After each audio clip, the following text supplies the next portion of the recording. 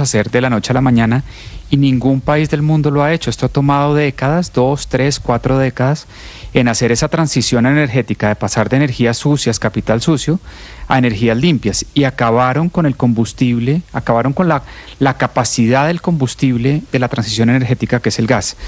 Yo veo que esto va a salir muy mal. Vamos a, el año entrante, todos los expertos lo están diciendo, va a haber un déficit de gas a nivel nacional, va a tocar importarlo a precios seguramente muchísimo más altos para el consumidor final y vamos a ver con qué historia sale el gobierno de Gustavo Petro cuando los precios del gas aumenten, cuando haya escasez o cuando terminemos en racionamientos. y la culpa es del el presidente Gustavo Petro que ya lleva dos años tomando decisiones de entorpecer la transición. Allí vendrá un tema de responsabilidades políticas, por supuesto. Ocho en punto. Claro, por, en por eso era mi pregunta, Néstor. Eh, de, la, de, de, qué se hubiera podido hacer. Y agradezco mucho la respuesta de María Consuelo, de Aurelio, de algunos oyentes aquí que me han escrito.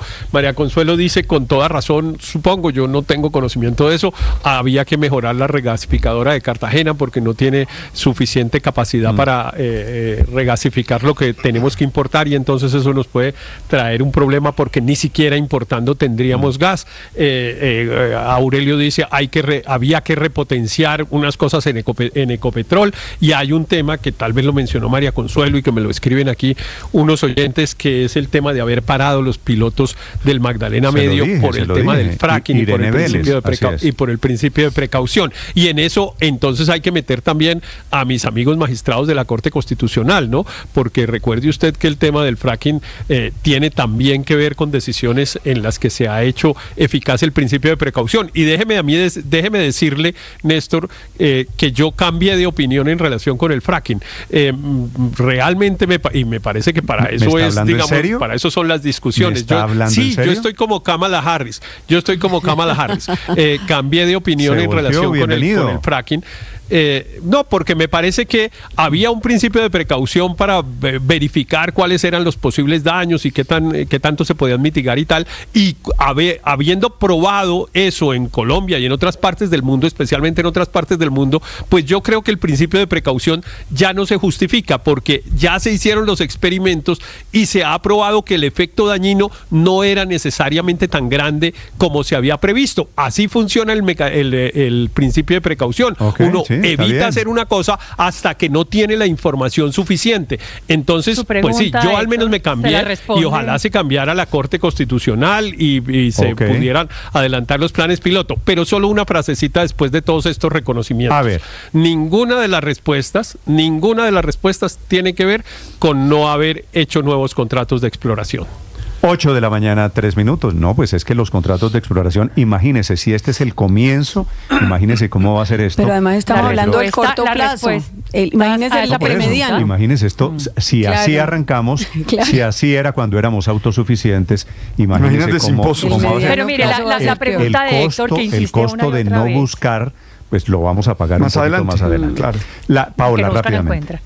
Rápidamente, pues la, respuesta a la pregunta de Héctor está exactamente en el primer párrafo del comunicado que sacó ayer Ecopetrol, donde dice, para contribuir al abastecimiento de gas natural a más de 36 millones de colombianos, se necesita de una tarea que depende de ajustes regulatorios, la CREC, aprobaciones, el Ministerio de Minas, trámites y el desarrollo de infraestructura, ambos que están en manos de otros actores de la industria.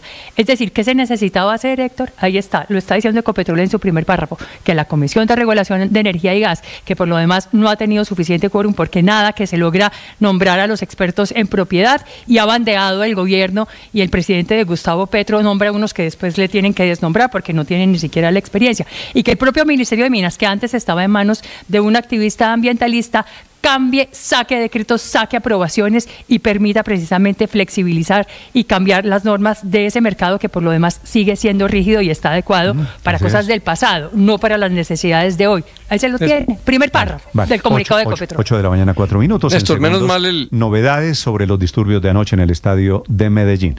Álvaro, Menos mal el debate está pasando a las soluciones porque ha estado enfocado en las causas y se dice que la causa es la falta de exploración por parte del gobierno Petro y ya está quedando claro por fin que, que no, que si se hubiera explorado en los últimos dos años eh, todavía tendríamos déficit porque no se alcanza a explorar, explotar y comercializar en dos años. Es decir, eh, no es cierto que el déficit sea por falta de exploración de los últimos dos años, sino de la última década. Es decir, que el déficit se debe a exploración de gobierno anterior y anterior, que se ha hecho un análisis politizado del tema, que para encontrar soluciones hay que avanzar. Entonces, la CREC de hace, de hace varios años falló, Ecopetrol de hace varios años falló, eh, los estímulos de hace varios años fallaron, entonces hay que tratar de, de solucionar ahora, pero si nos enfocamos en mirar que la causa es, es lo de Petro, no vamos a encontrar la solución. Eh, hay que explorar, pero también hay que hacer otras cosas. Le, admito, entonces no es culpa del gobierno que nos gobierna, sino es culpa de los gobiernos de hace años. Ve, por qué hay que tener minutos. cuidado cuando uno da una información al jefe. Cuando usted me pide una información a mí, yo tengo que pasarle una información contrastada, veraz, porque si yo le doy una información equivocada, usted toma decisiones sobre esa información. ¿Por qué lo digo? Porque aquí una ex ministra nos dijo que íbamos a tener gas o que teníamos gas basado en las pesas, ¿hasta cuándo? Hasta el 32, 33, y, y resultó que no es así. Entonces imagínense todo el tiempo que se perdió allí. Está suspendido el servicio de Transmilenio esta mañana en la carrera 30 con 92. La temperatura en Bogotá es de 14 grados centígrados. Tiempo seco de momento en Bogotá, pero será un fin de semana con lluvias intermitentes. Las noticias de Colombia y el mundo aquí en Blue Radio. Estás escuchando Blue Radio. Escanea este código y suscríbete a nuestro canal de YouTube, arroba Blue Radio Co. Y disfruta y participa de la programación de Blue Radio. Blue Radio, le ponemos cara a la radio. Blue Radio, la alternativa.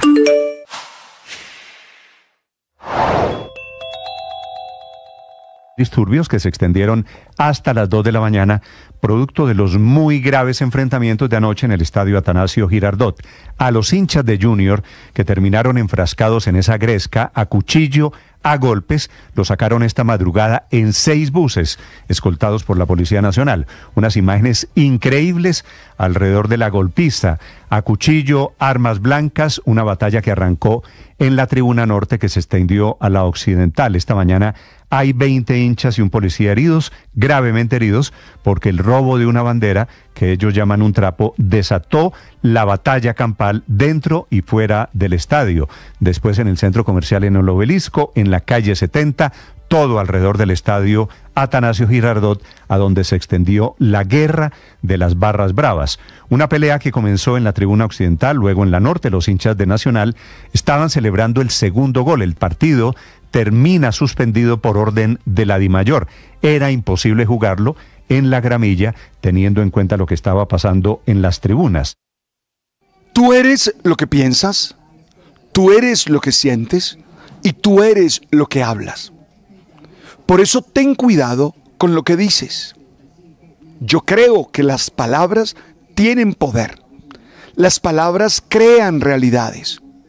Por eso uno no puede tener una expresión que lo dañe, una expresión que daña a los demás, una expresión que augure situaciones trágicas.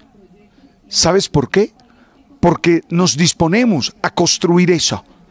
Porque la palabra expresa la fuerza y el valor que hay dentro. Por eso hoy te quiero pedir que evites esas declaraciones, que evites esas expresiones que dañan y que destruyen. Ten la certeza que el amor, la bondad, la solidaridad son siempre los valores que deben construir felicidad. Por eso, expresa amor, bondad, solidaridad. Tú sabes.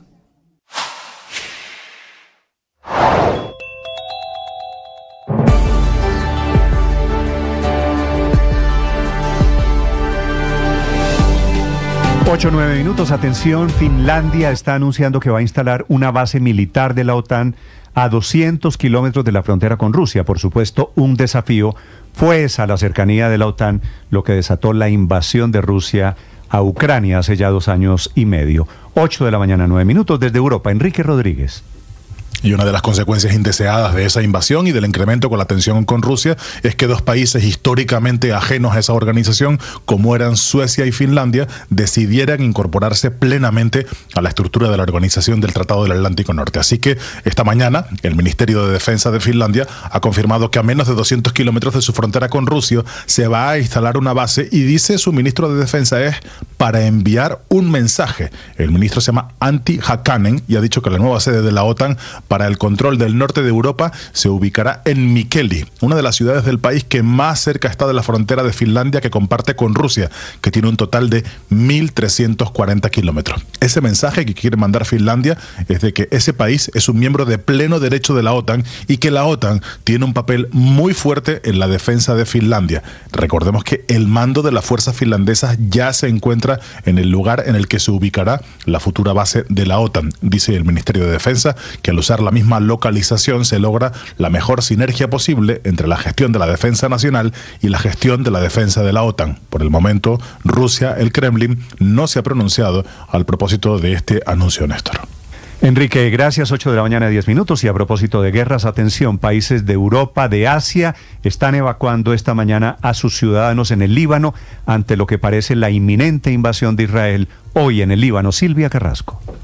Sí, Néstor, y está haciendo una tarea difícil porque en este minuto hay solamente una aerolínea volando hasta Beirut, que es eh, eh, eh, la, aerolínea de Medio Oriente, pero el resto no han suspendido sus vuelos y el aeropuerto está funcionando, el de Beirut, de manera interrumpida porque cada vez que hay que bombardeos tienen que cerrar el aeropuerto. El Reino Unido tiene 5.000 ciudadanos viviendo en el Líbano, Filipinas tiene 11.000 y le han pedido a sus ciudadanos que se retiren lo antes antes posible. Japón incluso está enviando aviones de su Fuerza Aérea. Por otro lado, también hay información de la Organización Mundial de la Salud que dice que los hospitales allí en el Líbano están completamente desbordados. Por una parte, los bombardeos han obligado a cerrar 37 centros de salud, pero el resto de los centros de salud ya estaban desbordados por las explosiones de los walkie-talkies y de los buscapersonas. Todavía hay 777 personas hospitalizadas producto de esas explosiones con heridas críticas porque han han sido amputadas sus manos o han perdido la vista. Dicen que tienen mucha dificultad para seguir atendiendo a los heridos allí. Y mientras tanto, en Naciones Unidas ha comenzado la cuarta jornada de la Asamblea General. Está previsto el tercer turno para el primer ministro Benjamín Netanyahu. Esperamos ahí oír cuáles son sus planes respecto del Líbano. Están recién en el primer turno, así que por lo menos en unos 40 minutos más podría estar empezando a hablar el primer ministro Benjamín Netanyahu, Néstor. Estás escuchando Blue Radio. Escanea este código y suscríbete a nuestro canal de YouTube, arroba Blue Radio Co. Y disfruta y participa de la programación de Blue Radio. Blue Radio, le ponemos cara a la radio. Blue Radio, la alternativa.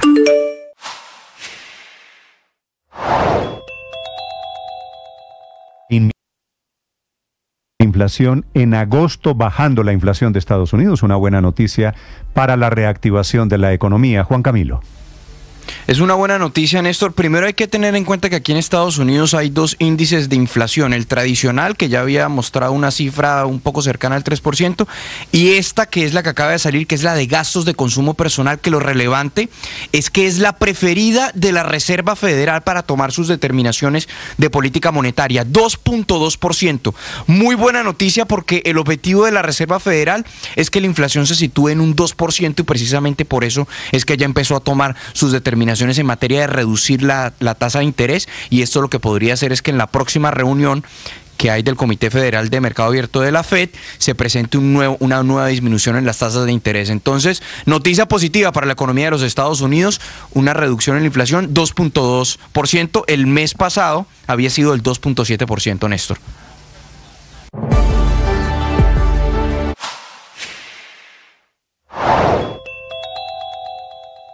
Inminente importación de gas que viene para Colombia el año entrante para atender la demanda de empresas y de hogares, porque se están acabando las reservas, una cosa que nunca había pasado en Colombia y que abre la puerta enseguida a incrementar el precio del gas de los servicios públicos. Promigas calcula que si la mitad del gas natural el año entrante es importado, pagaremos 23% sería el golpe.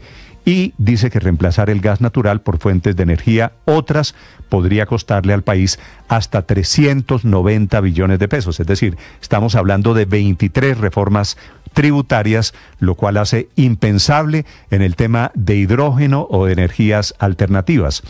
A esta advertencia de Promigar responde Ecopetrol en un comunicado en el que asegura que está haciendo todo para garantizar el abastecimiento de gas, pero que hay que ahorrar, dice, rebalancear y optimizar la exploración y la refinería.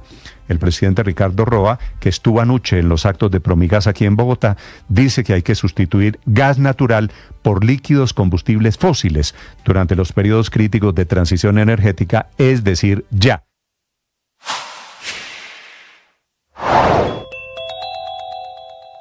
Una nueva amenaza contra la Jurisdicción Especial de Paz, que fue creada luego del acuerdo con las FARC, surgió luego de que el comisionado Oti Patiño planteara la posibilidad de anticipar la culminación del periodo para el cual fue creada esa instancia de justicia transicional, que tiene un plazo máximo de operación de 20 años, con prórroga incluida. Patiño dijo en entrevista con el espectador que en su opinión prolongar indefinidamente el funcionamiento de un sistema de justicia transicional como la JEP afecta a la administración de la justicia ordinaria y además lanzó críticas en contra de las decisiones de esa jurisdicción por considerar que amplió su radio de acción y ahora está investigando a mandos medios, cuando según su opinión solamente tendría que procesar a los máximos responsables de los crímenes más graves. El presidente de la JEP, Roberto Vidal, lamentó la posición del gobierno en el sentido de plantear el recorte del periodo de esta jurisdicción y advirtió que si esa idea se cristaliza, podría abrirse la puerta para que la Corte Penal Internacional entre a operar en Colombia debido al alto riesgo de impunidad.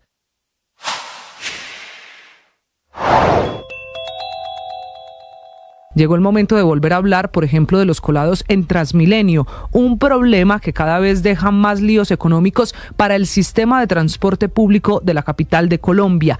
En cifras del alcalde Carlos Fernando Galán, las personas que se están colando en Transmilenio provocan pérdidas superiores a los 400 mil millones de pesos al año, en un contexto en el que el sistema de transporte de la ciudad está enfrentando un déficit que ya supera los 3 billones de pesos el monto que se deja de recaudar por los colados representa el 13% de ese total de problemas financieros para el transporte público y contra esos colados hay multas, campañas ciudadanas, sanciones pedagógicas y parece que nada funciona. Por eso la Secretaría de Cultura junto a Transmilenio lanzaron hoy en Bogotá una convocatoria para jóvenes que quieran crear una campaña para incentivar el cambio de cultura, que va a ser una campaña en redes sociales. Esta convocatoria, que estará abierta hasta el 10 de octubre, invita a los ciudadanos a hacer videos creativos, a ver si los colados entienden que el problema de no pagar el pasaje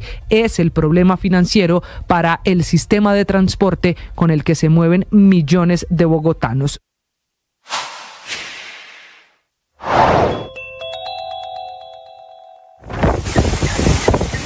Nuestros usuarios en YouTube pueden ver a esta hora la imagen satelital donde se ve la magnitud de Helen y pues el sonido ya lo escuchábamos, ha sido calificada como una tormenta catastrófica y las imágenes que se empiezan a registrar ya una vez sale el sol también son catastróficas. Calles y autopistas totalmente inundadas, los árboles caídos, casas destechadas, incluso se habla que en algunos puntos lo que es conocido como la marejada ciclónica alcanzó hasta 6 metros.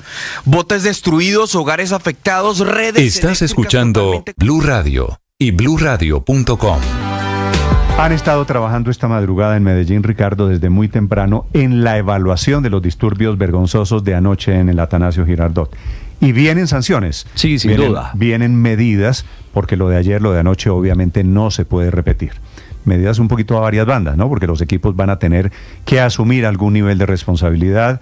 Ellos que tienen, que están encargados de la seguridad dentro del estadio. Seguramente Nacional volverá a vivir la pesadilla, o de jugar a puerta cerrada, o de no tener estadio en la ciudad de Medellín para poder realizar sus próximos compromisos. El gran interrogante es también en esa carambola, como usted lo plantea, eh, qué medidas van eh, a tomar eh, frente al tema junior o a los barristas o delincuentes, en fin, a este cóctel en el que todo sale mal y donde los verdaderamente perjudicados son los hinchas, y los protagonistas Las familias, los niños que estaban anoche por en el supuesto. Manuel Villa es el secretario de Seguridad en Medellín al frente de esta crisis. Doctor Villa, buenos días. Néstor, buenos días para ti, para toda la mesa de Blue y todos los oyentes. Doctor Villa, primero, ¿cómo está la situación esta mañana en Medellín? Porque los disturbios fueron hasta las 2 de la madrugada, se salieron del estadio del Atanasio Girardot, se fueron hasta el obelisco, se fueron hasta la carrera séptima. ¿Cómo está Medellín en este momento? Bueno, el día de ayer, ya como es de conocimiento público, en el estadio, en ese partido entre Nacional y Medellín, cuando eran los minutos 54 más o menos, se da esa esa batalla campal, esa disputa entre hinchas de el Junior e hinchas de Nacional. El partido tiene que ser suspendido. Las personas tienen que evacuar. La policía que está por fuera del estadio tiene que eh, reaccionar y garantizar que esa evacuación se haga de manera controlada, porque como usted lo dice, los hinchas también estaban saliendo a confrontarse afuera del estadio. Luego, la situación es controlada por, por la policía. Los hinchas del Junior tienen que ser ingresados nuevamente al estadio. Los alrededores del estadio tienen que ser totalmente evacuados y finalmente entre las dos y media y las tres de la mañana se pudo evacuar a los hinchas del Junior eh, en sus buses y escoltados directamente hacia Barranquilla. Esto, como usted lo decía, es totalmente inaceptable, inadmisible, reprochable, condenable y póngale todos los adjetivos que quiera porque se los merece. No puede ser que una fiesta del fútbol, que debe ser un evento para disfrutar en familia, con los amigos, termine siendo una batalla campal. y aquí hay que hacer no solamente reflexiones, sino tomar medidas. Claro, ya le voy a preguntar de esas medidas, pero quisiera entender primero, ustedes ya viendo los videos, analizando todo lo que pasó, el partido lo interrumpen a las 10 de la noche, 10 y pico de la noche, ya ustedes tienen claro la primera chispa, la primera agresión, la primera puñalada de quién vino? Ahí ya con el equipo de cámaras se está haciendo toda la trazabilidad y ya se tienen varios registros de varios involucrados, de varios momentos, desde el momento número cero hasta finalizando eh, la situación. Y todo este informe que va a orientar a los organismos de seguridad e investigación, pues serán puestos a disposición tanto de la policía como de la fiscalía y de ambas comisiones de fútbol, tanto la local de Medellín como la de Barranquilla. Sí, que podrán llegar esas sanciones, secretario, pero para entender esta lógica de lo que pasó anoche en el Atanasio Girardot, ¿cómo, explicar, ¿cómo explican ustedes que terminaron hinchas de los dos equipos en la misma tribuna? ¿Cómo lograron los hinchas del Junior quedar metidos en medio de los hinchas de Nacional? Lo que hay que entender es, el, la hinchada del Junior estaba en el costado norte de, del estadio.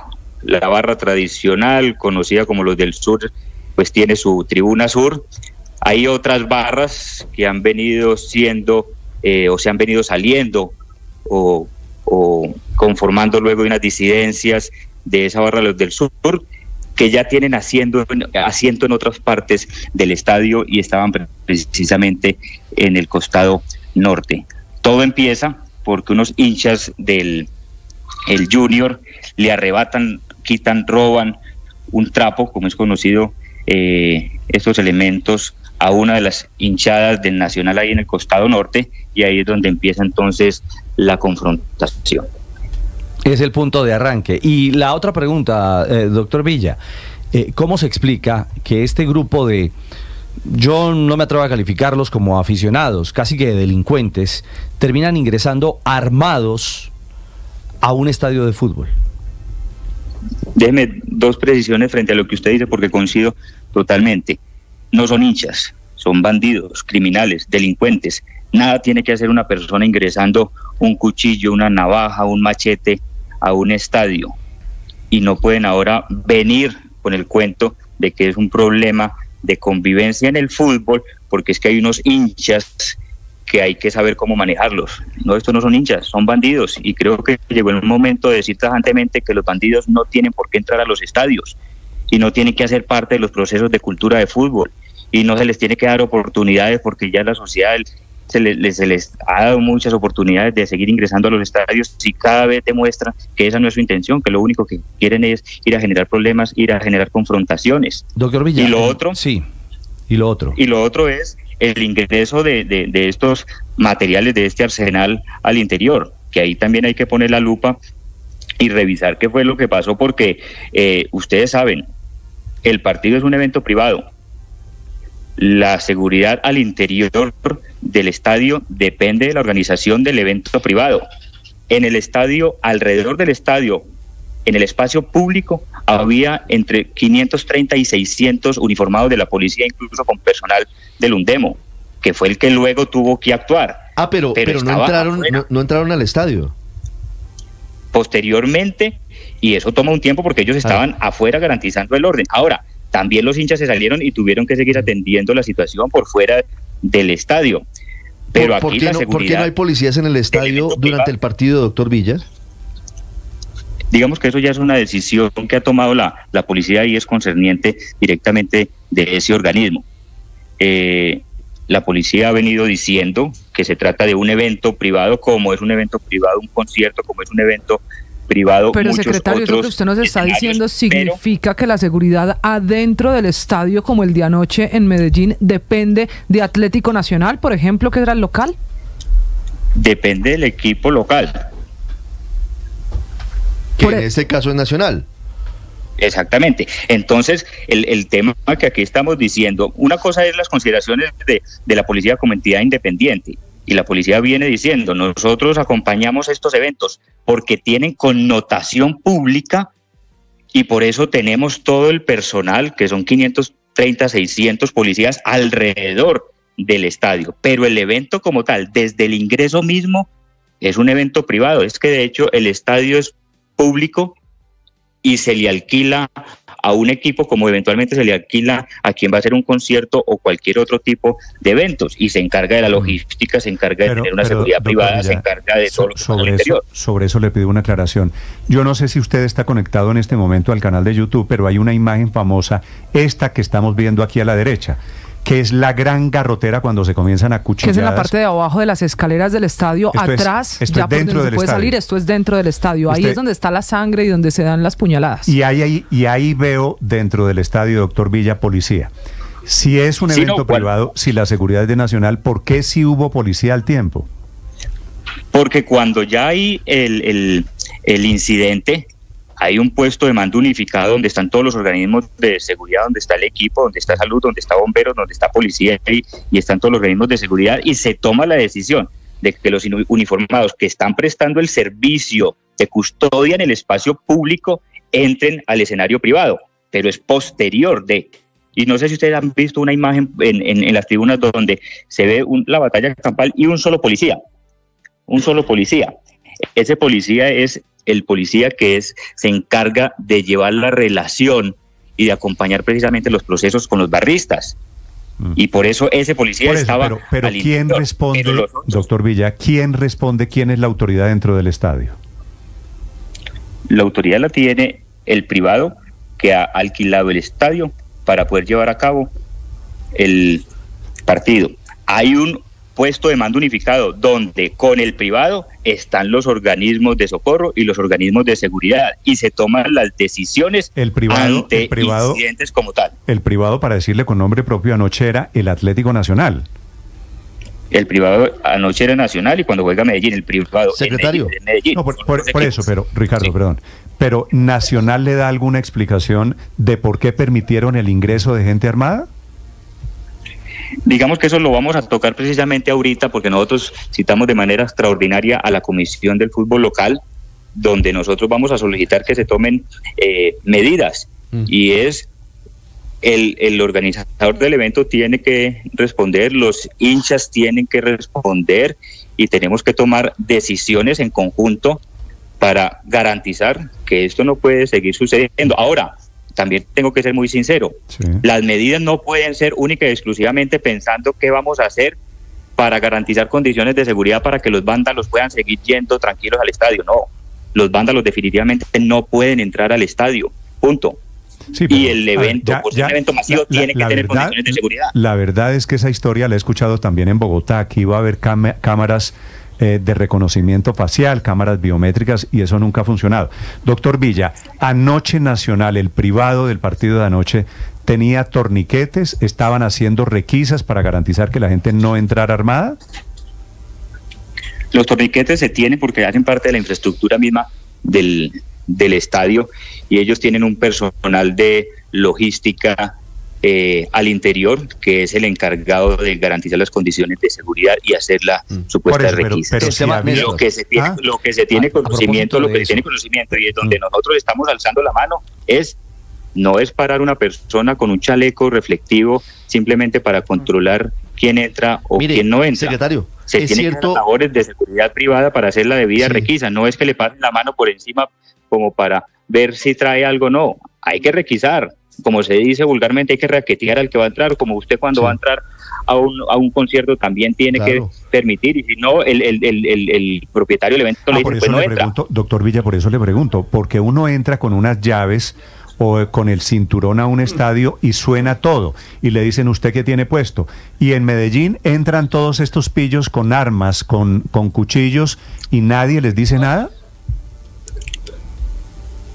Eso, eso es lo que hay que nosotros en la comisión ya poner un, un, un no va más y decir, o hay condiciones para que los eventos privados nos garanticen que van a tener las condiciones de seguridad o nosotros tomamos decisiones. Mm, Pero las decisiones sí o sí se tomarán ahorita y serán de conocimiento público en horas de la mañana. Secretario, eh, hace algunos meses hubo una huelga violenta de la barra brava de Nacional, de los del sur. Y en ese momento creo recordar que el equipo acordó que la seguridad adentro del estadio se la dieron a integrantes de esa barra. Anoche las personas que tenían el chaleco reflectivo verde eran integrantes de la barra Los del Sur. Es decir, la seguridad y la logística dentro del estadio cuando juega Nacional, ¿la presta la barra brava de Nacional? Hay personal de logística dentro del trabajo que hace de manera articulada el equipo con la barra, donde efectivamente hay personal de logística de las mismas barras, pero es en un trabajo articulado que hacen ellos para la logística alrededor de la misma barra, alrededor de la misma barra. doctor Villar, estoy diciendo, pero venga, yo le explico. no, pero es que esto es como poner a Popeye a cuidar las cárceles en Colombia. No, pero pero déjeme, yo le explico. Pero como que las barras bravas, pues claro, esa es la explicación de por qué no descubrieron que los hinchas entran armados. Pues son los mismos. el ratón, el ratón cuidando el queso, doctor Villar.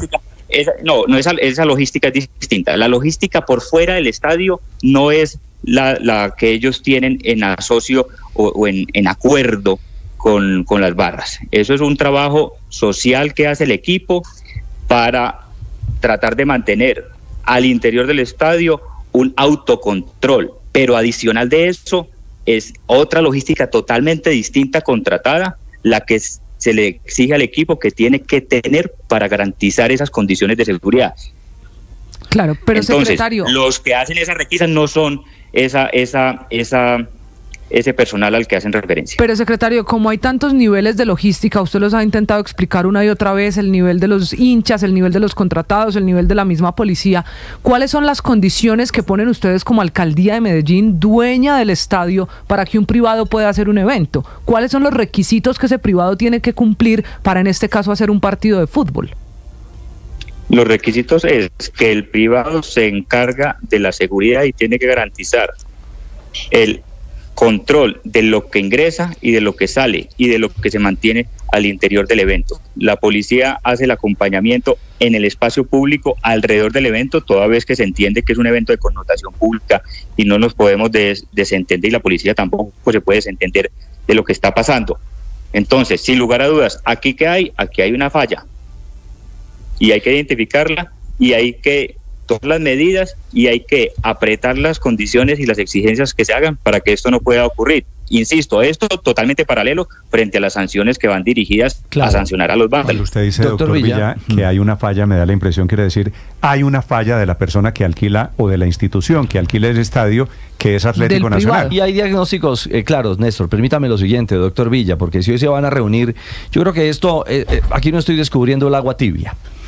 Me están pasando reportes, no hubo requisas en las taquillas, es decir, esa logística final que obliga a la requisa, eh, digamos, donde, como lo dice el doctor Villa, hay que raquetear a la gente. Todo parece indicar que la intimidación es tal por parte de esos delincuentes mm. que no permiten la requisa. De hecho, no la hubo. Entonces, si ese es el punto de partida, eh, eh, doctor Villa, ¿de qué estamos hablando? Pero precisamente eso es lo que en la comisión nosotros vamos a poner sobre la mesa. Aquí no me pueden dar excusas de si se tiene el personal, no se tiene el personal, si están intimidados, si no están intimidados. Es una instrucción y una exigencia. Hay un evento masivo, quien realiza el evento tiene que propiciar las condiciones de seguridad. Punto. Ahí yo creo que el, tema es, y ustedes lo están viendo claro, el, el diagnóstico. El diagnóstico es un tema que está desbordando, no solamente el caso de, de ayer en Medellín, sino que está desbordando los escenarios deportivos. Por un lado, un montón de bandas que creen que por llamarse hinchas pueden hacer lo que quieran y no les va a pasar nada. Pues no, les tiene que pasar algo, punto. Un evento privado que por más que tenga connotación pública, sigue siendo privado y los responsables tienen que actuar de conformidad y tienen que garantizar las exigencias. Si no, también se tomarán las decisiones. Pero aquí todos tenemos que apostar. Esto no solamente es apostarle a, en, el marco de la cultura fútbol, hacer eventos donde decimos que somos capaces de traer otras hinchadas, que estamos fortaleciendo el barrismo en paz, que estamos apoyando proyectos sociales para que eh, podamos demostrar que podemos vivir la fiesta en familia, con amigos y demás, sino que aquí las condiciones mínimas se tienen que cumplir o si no, las cosas van a tener que, seguir siendo muy claras. Que hay que apoyar a la gente de las barras, me imagino que en eso están, pero a poner a los barristas a cuidar la seguridad del estadio, pues terminan pasando cosas como esto. Digo, eso me parece, doctor Villa, también tiene que ser una lección. O si no, respondan ustedes desde Medellín por qué centenares de personas agarraron a cuchillo anoche que estaban en el estadio, que debieron ser requisadas, a quienes no debieron dejar entrar al estadio. De acuerdo, Néstor, por la, claridad que les hacía eh, ahora, pero no, no recuerdo cuál de ustedes ahorita, empezando la entrevista, decía, esto es un cóctel de cosas. Orrego, Ricardo Orrego, aquí. No se trata, no se trata, Ricardo, usted lo dijo, y, muy bien, no se trata de, señalar una, una falla, no se trata de señalar un, un, un, responsable. A nosotros como administración lo que nos interesa por el bien de la ciudad y por el bien del espectáculo es que entre todos seamos capaces de tomar las decisiones. Ahora, debido a lo que pasó, las decisiones tienen que ser en esta ocasión drásticas y más de uno llevará el punto como se dice. Y más de uno llevará el punto como se dice. porque, ¿Qué clase de decisiones están, están a punto de anunciar? A uno le dicen es que porque justos pagan por pecadores. Hombre, cuando los justos eventualmente eh, no son corresponsables, pues también tienen que llevar del bulto como se dice. Eh, aquí o todos nos ponemos en cintura o no vamos a seguir permitiendo que estas cosas pasen. Nosotros somos los primeros que resaltamos la cultura del fútbol, nosotros somos los primeros que resaltamos que el fútbol tiene que ser un instrumento de convivencia y lo apostamos por más difícil que sea. Nadie nos dijo que iba a ser fácil. Y esto no es para echarse golpes de pecho y decir entonces que vamos a, a, poner el freno de la emergencia y no le vamos a apostar. No, nosotros somos convencidos de que hay que hacer lo que se debe hacer y uno luchar por hacer lo correcto. No puede uno decir entonces que porque pasó algo estamos cometiendo un error vendrán decisiones y es hora de ajustar el camino y la gente les tendrá que hacerle una última pregunta. las reglas de juego.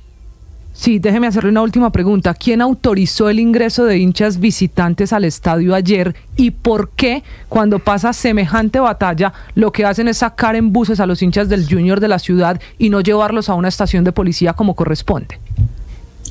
Dentro de la comisión del fútbol directamente el equipo y, los demás miembros de la comisión del fútbol tomaron la decisión de aceptar eh, la, la, presencia de los hinchas de, Junior en esta ocasión.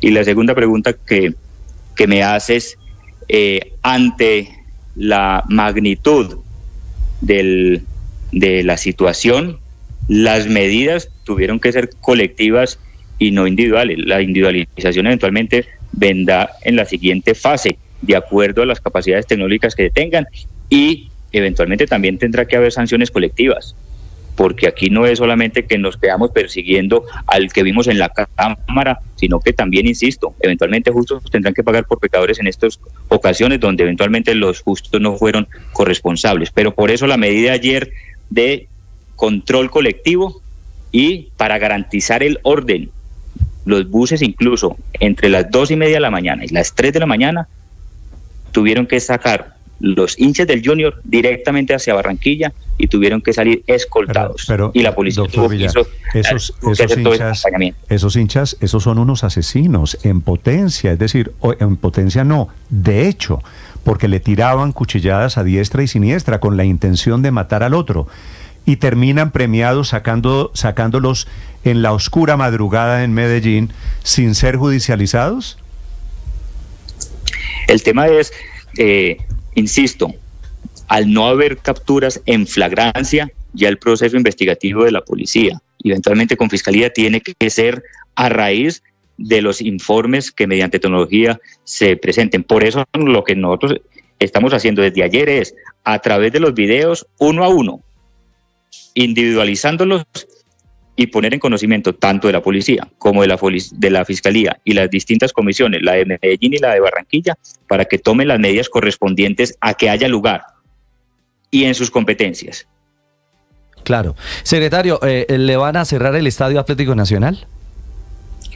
Las medidas serán producto de las decisiones que tome la comisión y pues debo ser responsable la comisión está citada ahorita en horas de la mañana y las medidas que tomen serán pues de conocimiento público. ¿Pero eso podría pasar? Sí, sí, claro que podría pasar.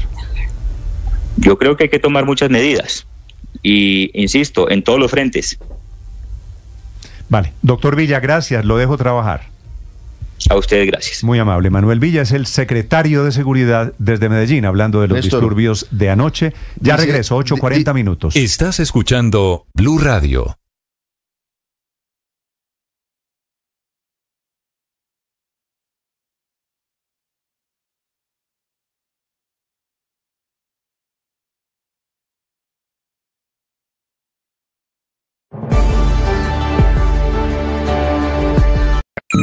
Escanea este código y suscríbete a nuestro canal de YouTube, arroba Blue Radio Co. Y disfruta y participa de la programación de Blue Radio. Blue Radio, le ponemos cara a la radio. Blue Radio, la alternativa.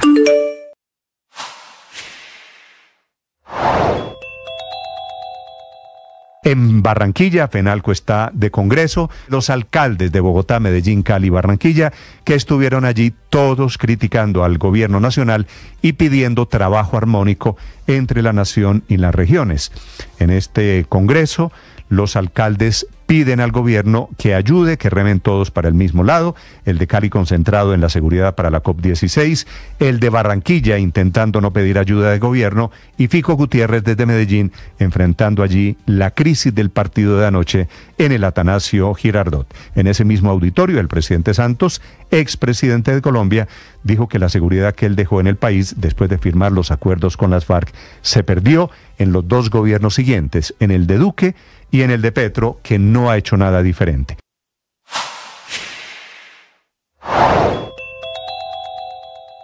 Clubes sociales, amanecederos y ahora sindicatos. Esas son las razones sociales jurídicamente de este tipo de establecimientos que al final funcionan sin que nadie los detenga, abren cuando los dueños quieran, cierran cuando ellos quieran y ni la policía ni mucho menos las alcaldías locales pueden ingresar. Anoche, las autoridades en el sur de la ciudad armaron gigantes. Esta es Blue, más que radio.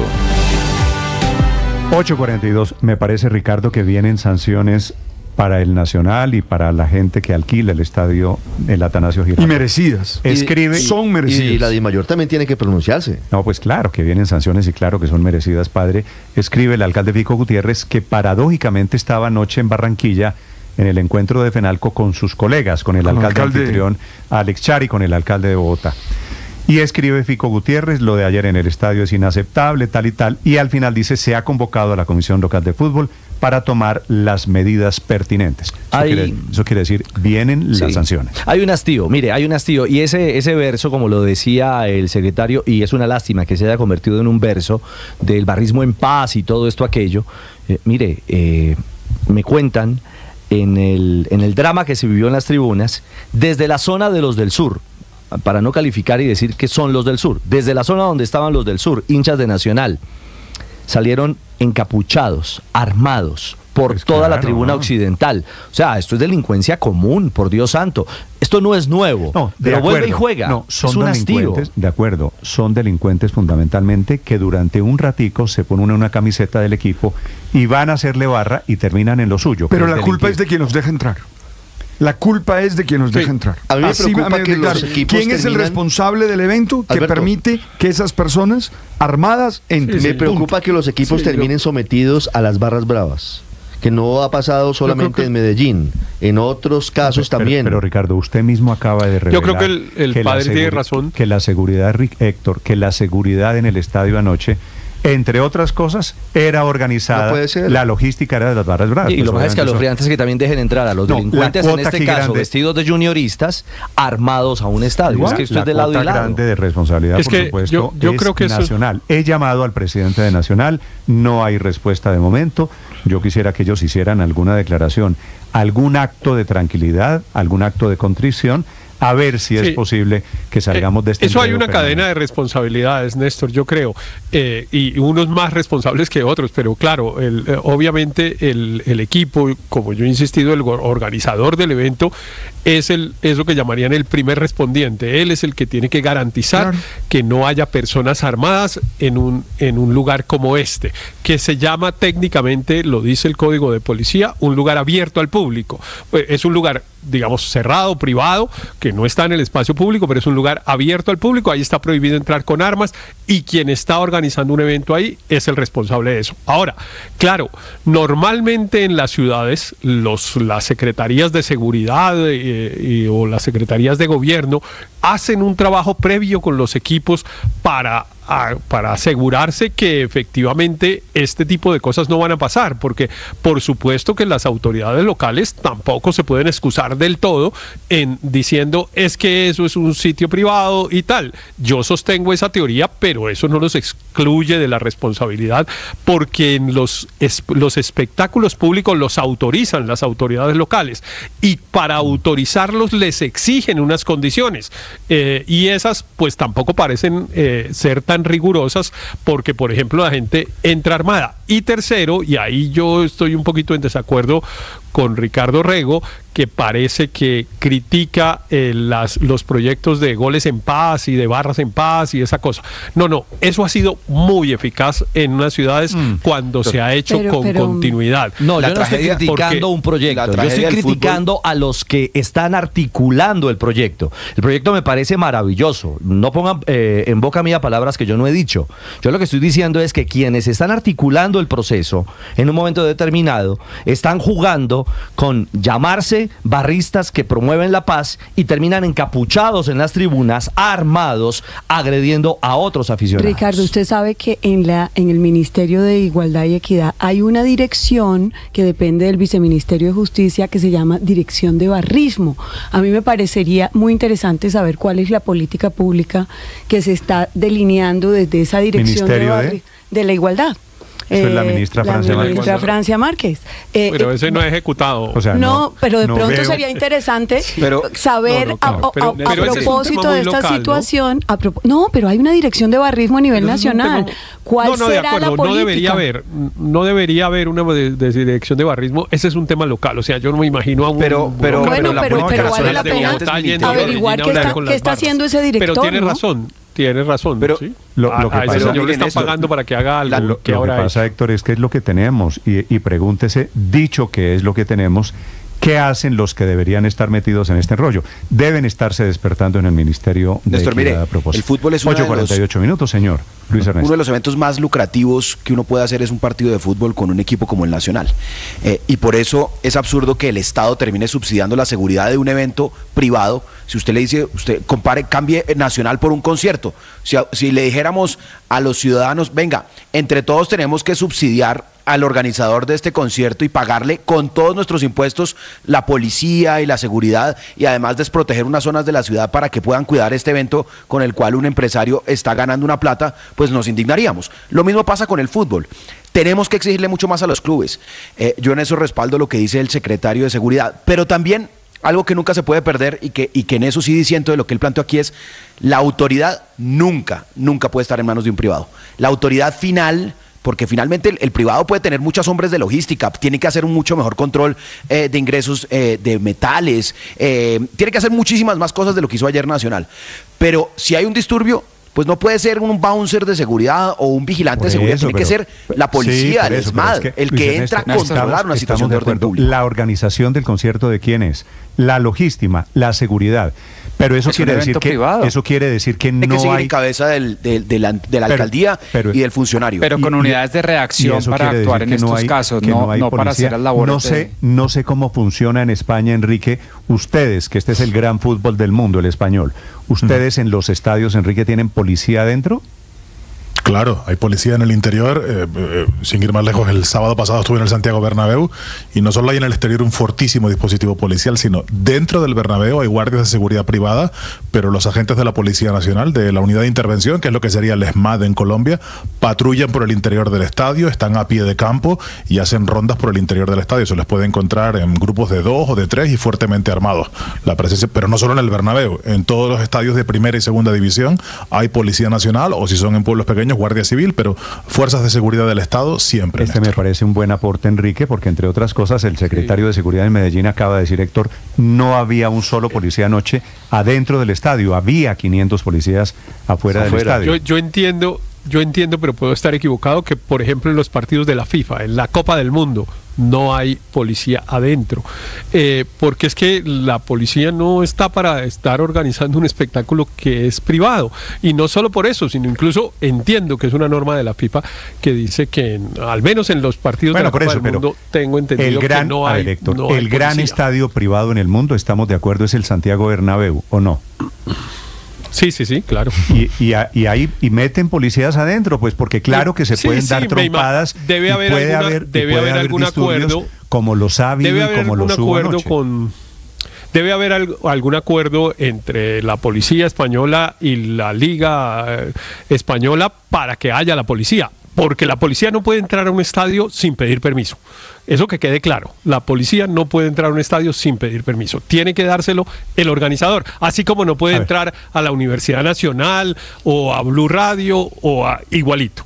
Ah, bueno, a Blue Radio es un mal ejemplo porque no es un lugar abierto al público, pero a la universidad sí. La universidad, un estadio, una cafetería, un restaurante. Pero si hay son lugares abiertos al público y ahí no puede entrar la policía sino con unas condiciones. Se cogieron a cuchillo, como si en su casa se cogen a cuchillo usted y el vecino y entonces no puede entrar la policía. 8.51 minutos. El doctor Fernando Jaramillo es el presidente de la DIMAYOR. Doctor Jaramillo, buenos días. Muy buenos días, Néstor. Doctor Jaramillo, ¿había policía? ¿Puede haber policía en los estadios a propósito de lo de anoche en Medellín? No, claro que puede haber policía, claro que esto es un tema de planear con anticipación un, un, un, un tema de seguridad, ¿sí? cuál es el esquema de seguridad que debe tener un partido como Nacional Junior, planearlo en la comisión local, planearlo en el PMU y ejecutarlo.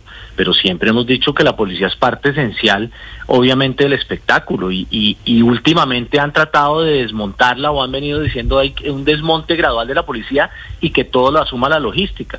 Yo creo que es claro que en un país como Colombia, pues una logística va a estar desbordada por, por estos hechos, como se desbordó ayer. Claramente, mm. sí. Y aquí tenemos que tener, obviamente, todo el apoyo de la policía también. Estaba escuchando aquí a su amigo Riveros que dice, no puede haber policía dentro de los estadios porque es un evento privado. ¿Eso es así?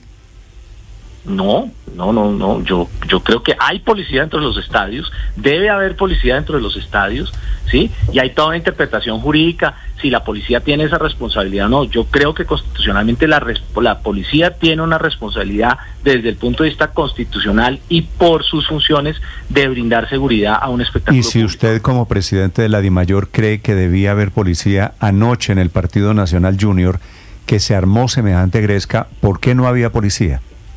No había porque ese es un plan que se define localmente en una comisión local. Sí había policía, no la suficiente, ¿sí? Y se define en la comisión local. Yo creo que aquí no es de señalar con el dedo quién es el responsable, que hay una corresponsabilidad que va desde los clubes, desde la logística, desde la policía, desde muchos temas para asegurar que un espectáculo que de alguna manera tiene una representación en el país muy importante, que es un espectáculo público, sí, ejecutado por privados, pero es un espectáculo público, pues tenga las seguridades que tiene que tener. Presidente, eh, ¿cómo explicarle a la gente, cómo explicarle al oyente, al aficionado, que eh, esta película de ver eh, delincuentes armados en los estadios, en las tribunas de los estadios, en medio de familias, en medio de niños, de señoras, se repite una y otra vez? Es decir, esto lo hemos vivido, esta no es la primera vez. ¿Cómo diablos no se logra controlar el ingreso de delincuentes armados de uno y otro bando, en este caso de Nacional y Junior, a un estadio?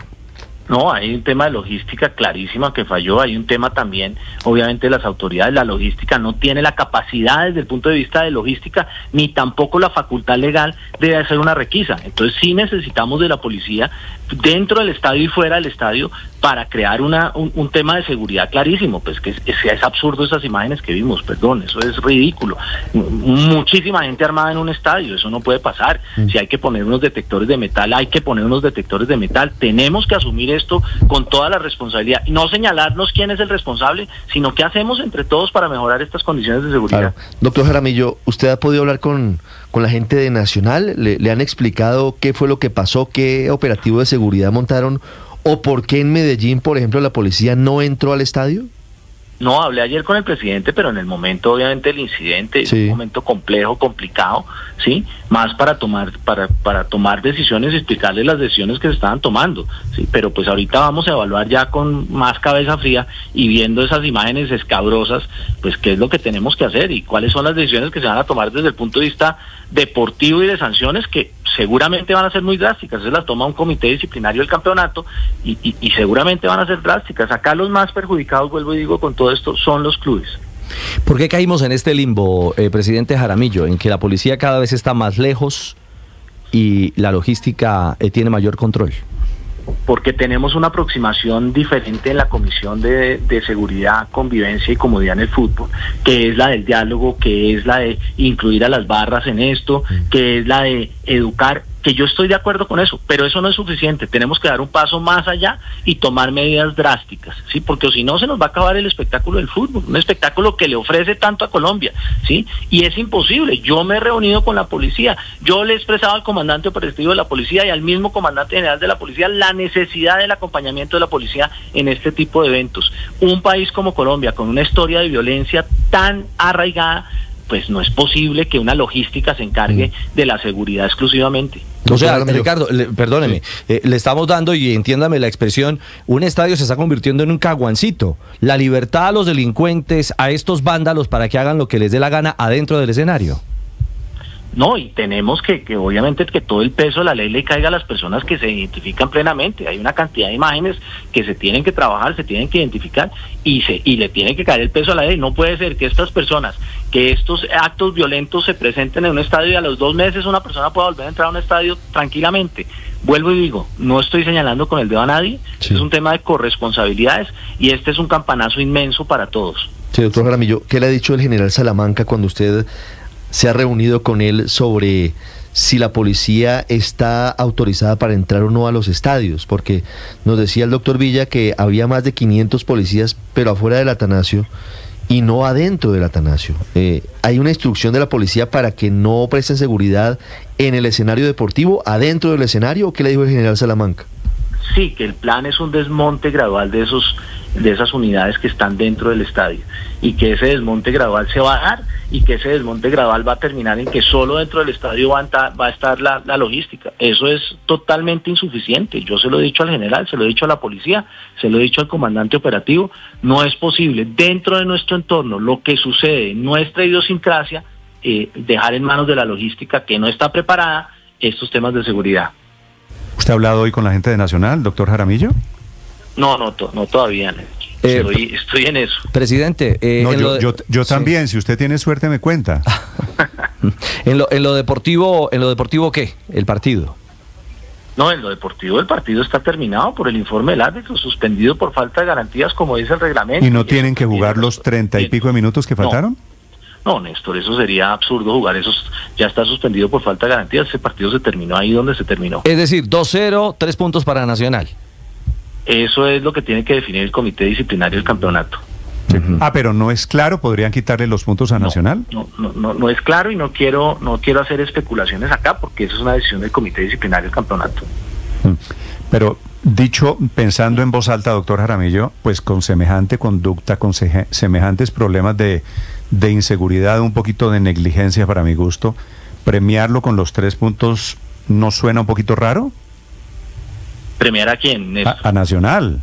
Ah, no, por eso digo, no, no necesariamente esa es la, decisión del comité disciplinario. El comité disciplinario tiene que tener toda la información, el informe del árbitro, el informe del comisario, el informe de las autoridades y con base en eso tomar una decisión. Es que yo quiero buscar al presidente nacional porque aquí Ricardo Espina entregó un dato hace rato que fue confirmado por el secretario de Seguridad y es que a los barristas de Nacional que han sido históricamente violentos. A los del sur. Los del sur los pusieron a cuidar la seguridad dentro del estadio. ¿Eso no es insólito? Pues e, e, es un poco, yo creo que eso gradualmente se ha desmontado por muchos clubes que tenían relaciones con las barras para que no los molestaran y eso gradualmente se ha hecho en clubes como Millonarios, como Santa Fe, con el mismo Nacional ya se había empezado un desmonte gradual de una relación que tenían que era peligrosa desde ese punto de vista, entregarle boletas, entregarle otras actividades en el estadio, eso ya se comenzó a hacer, no sé en qué va eso exactamente en el caso del Nacional. Es que yo sospecho que hay un poquito de ayudarle a la gente de las barras, pero también mucho de tacañería del estadio, porque la seguridad privada, la profesional, les vale mucha más plata.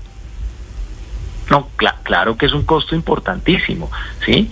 Y, y, los clubes lo han asumido, pero no es suficiente. Independientemente de lo que, del costo, no es suficiente la capacidad que tiene eh, una logística eh, en estos hechos de violencia porque los desbordan totalmente. Mm. Sí, aquí pasaron muchas cosas anoche en Medellín, ese tema de las barras cuidando, el tema de que lo dejaron entrar eh, armados y el tema de que esta mañana increíblemente no hay un solo detenido por los disturbios de anoche en el Atanasio y fuera del Atanasio Girardo.